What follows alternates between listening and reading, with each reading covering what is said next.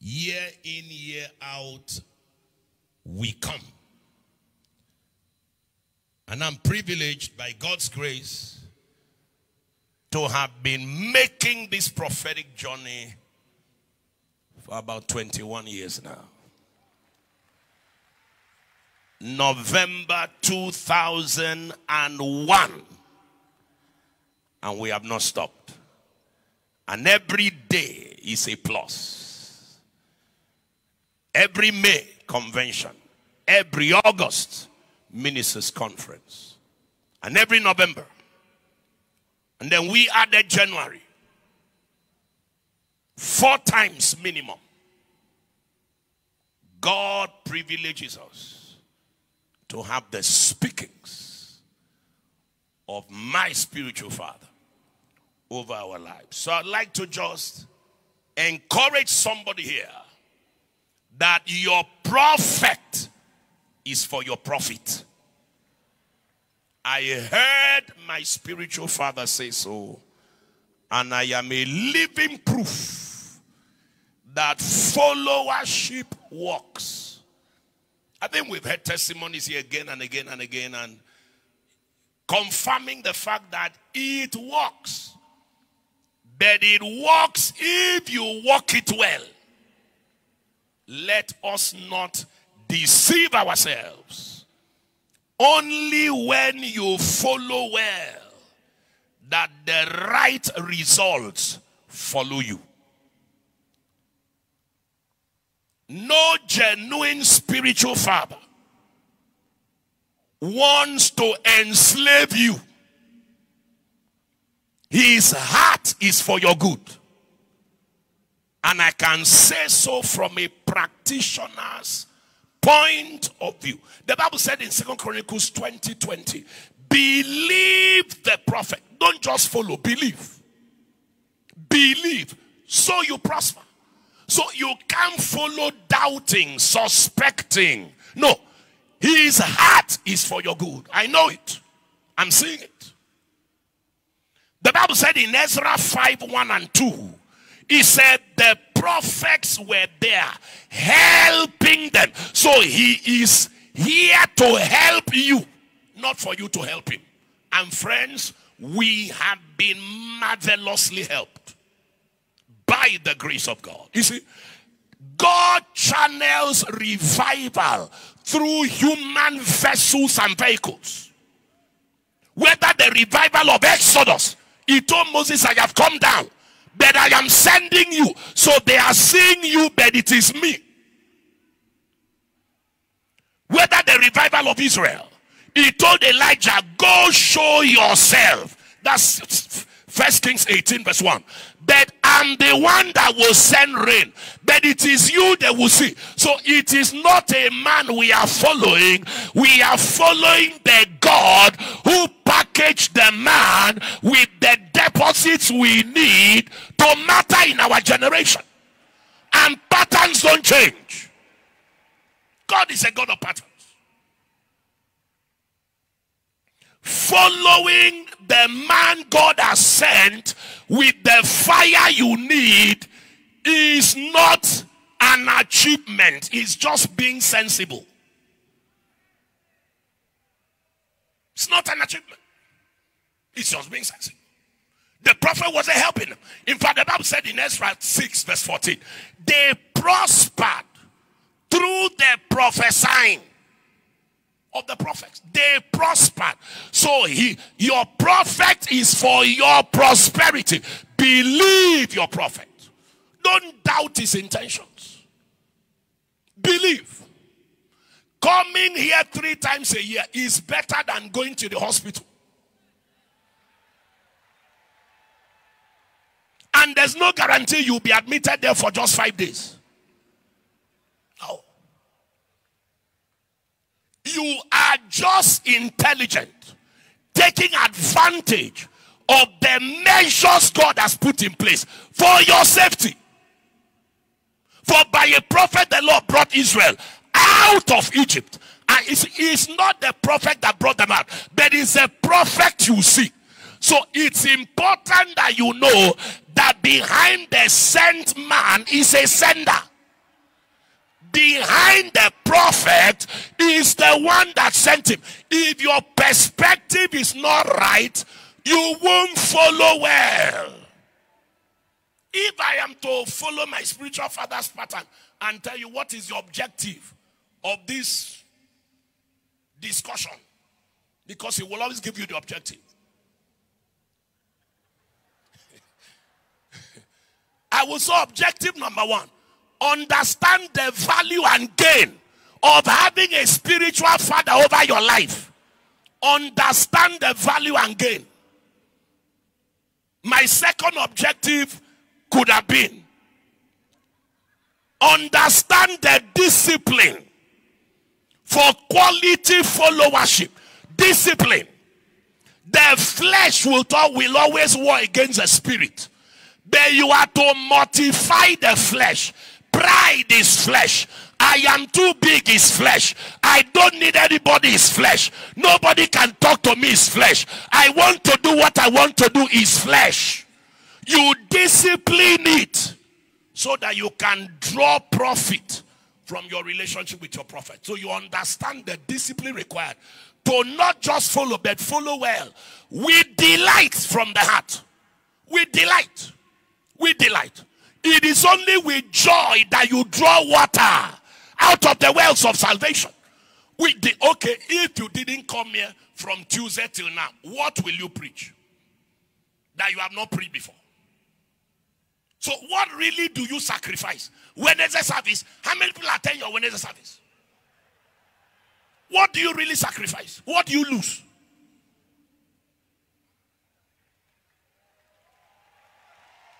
In actuality, what did you sacrifice? No, being here with such heavy download, and I'm talking not just to those of to those of you secretly watching from your rooms and publicly pretending that you are not benefiting from this grace. The Lord show you mercy. Listen to me. Come out of hiding. Come out of hiding. You cannot be running with the principles without honoring the principal carrier of the principles. Give honor to whom honor is due. Honor is due. Stop hiding in your houses. But when we hear you talk, we know you are eating from somewhere. Ah, shout I hear. And when you come here and you are blessed and impacted, do not deny the truth about the channel and source through which God trafficked those verities in your direction. Paul speaking, he said, Follow these principles well, knowing of whom you have learned them. So behind the learning of the learner is a person from whom you learned them. And in the Bible, such connections are openly celebrated. Openly. Moses will tell you, Jethro, I was with him 40 years. Elijah, Elisha will tell you, I poured what has water in the hands of Elijah. It's not something to be shy about. It is for your good. It's for your good. I am glad to let you know you can't hang around me for one month, one week without knowing and hearing me confirm that I had a spiritual father. And by God's grace, the more I talk about it, the I'm lifted. Because you can't sow honor and reap dishonor. It's not possible. Please know the value, understand the discipline, and then invest the consistency of starting well and following continuously, unbrokenly well. To start it and stop it, it were as though you didn't start it at all. Life is programmed in cycles. Life is programmed in rhythms. And by the message of God, when you start, you continue with consistency. Because that is when you will enjoy a plus, a push, an advantage, an elevation, increase, progress, well being, wellness, improvement. All of that is the meanings of profit. It's for your gain. As a person, is a container of virtues. We have this treasure in earthen vessels, that the excellence of the power may be of God and not of us. As a person, that's even if you didn't meet him, that you are you are in a position of honor with your heart. You you there are virtues for you to draw. That's Second Corinthians 4 verse 7. You share the same atmosphere where God is helping him, and there's a rub off. He said, I long to see you that I may impart to you. We are not here because God's servant is lonely. I don't come around to fraternize. He can play with me, but I can't play with him.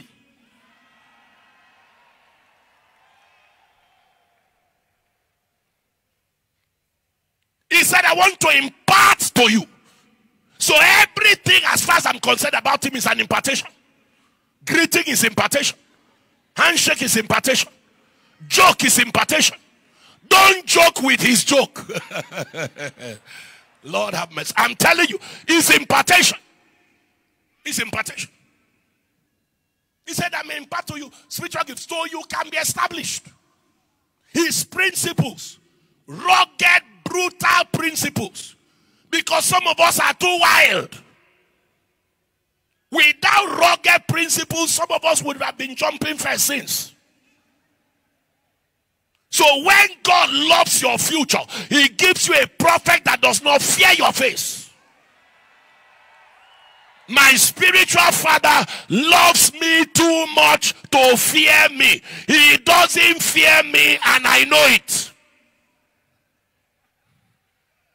You can't impress him with your results because he loved me when I didn't have results. People will stand up today and say, I sent him an SMS, he called back. And I see the person looking like myself the way I came 21 years ago. So I said, This thing is not fake. If it was fake, he would have changed by now. But till today, he's still reaching out to people you would consider a nobody because it is not your performance that impresses your spiritual father. It is the heart God gives a father to receive a son and groom him into notoriety. Sir, I am a living testimony. The first time we came here, I came with my precious wife with my long guarded and protected 10,000 naira. Cons- seriously conserved over time. We didn't branch it, not for food or for anything else. That's how I came. That's how I came. Before then, two years before then, somebody blessed me with two of his cassette tapes. Running with vision, and I don't know what. I played the tape for two years. The tapes filled. I played it till the tape cut. I played it till the tape lost shape. I played it till when you put inside radio, it will coil. I will uncoil it. Two years. And I kept saying, Lord, when will I meet this man? Lord, when will I meet this man? Because you will hear the voice of God in the voice of who is your spiritual father. The same way Samuel heard the voice of God sounding like Eli. Please sit down, please. Don't make us preach.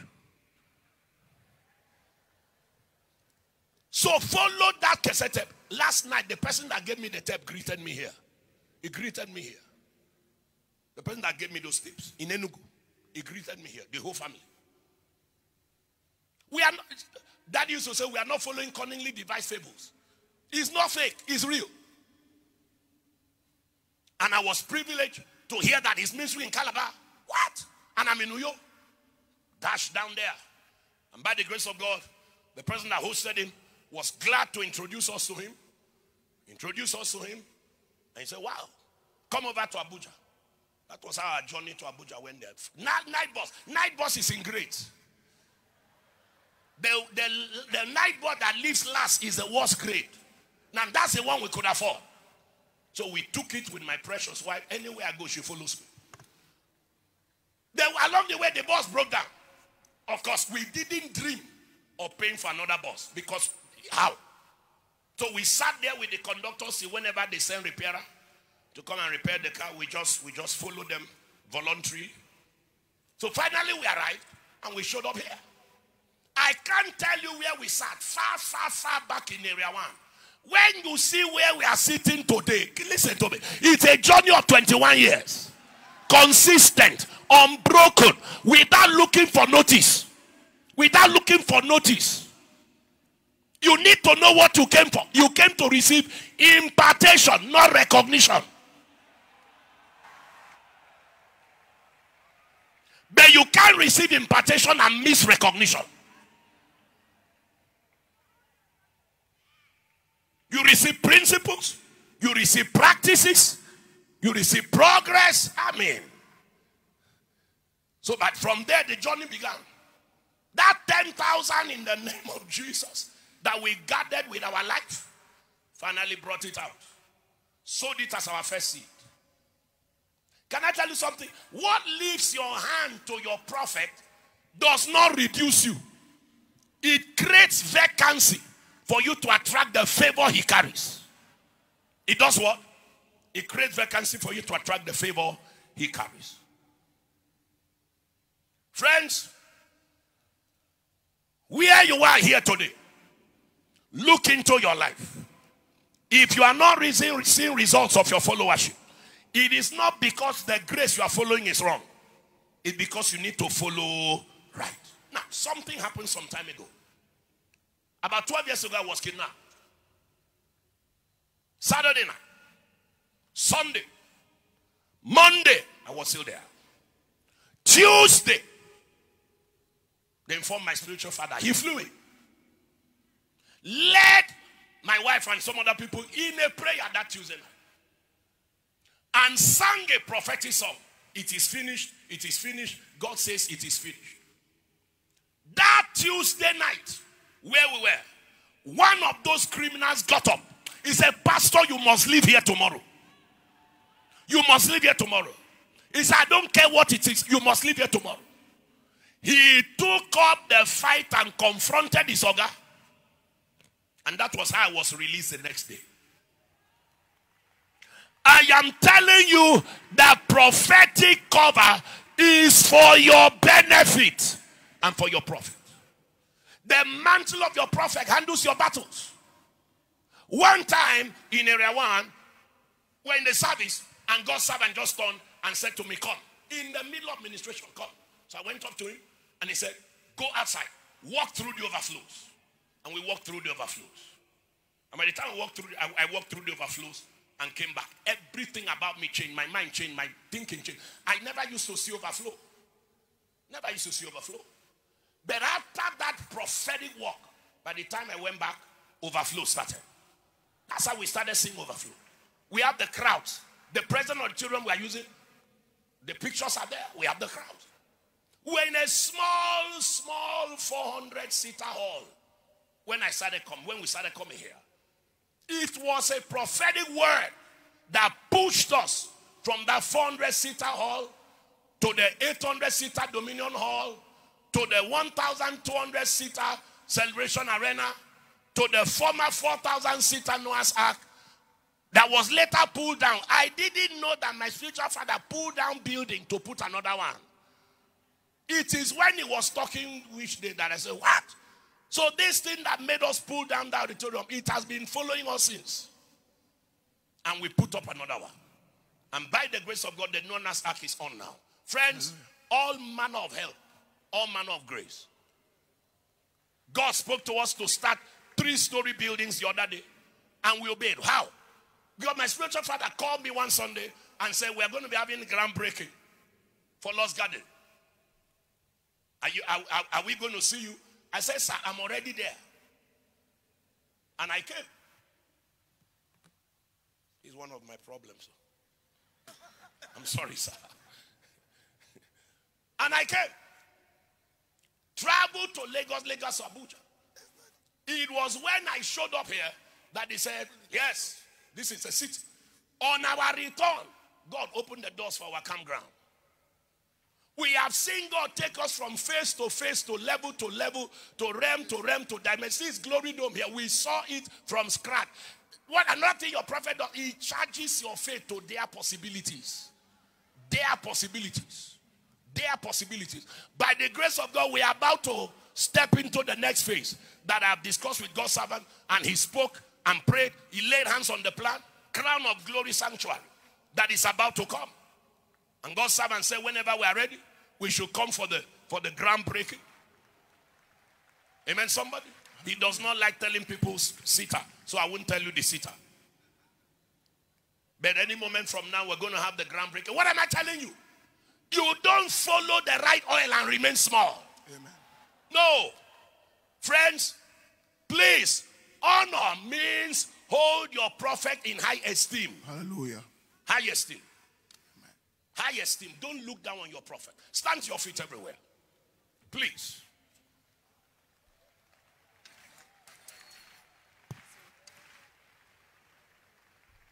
One prayer. Lord, help me to follow on and follow well. Help me to do what? I have crossed the time my father gave me. I'm very sorry, sir. Please say, Father, help me to follow on and follow well. Can you pray that for 10 seconds, please? Please. It is it's out of the genuineness of this heart to just let someone know it works. Help me to follow on and follow well. Help me to follow on and follow well. Hallelujah.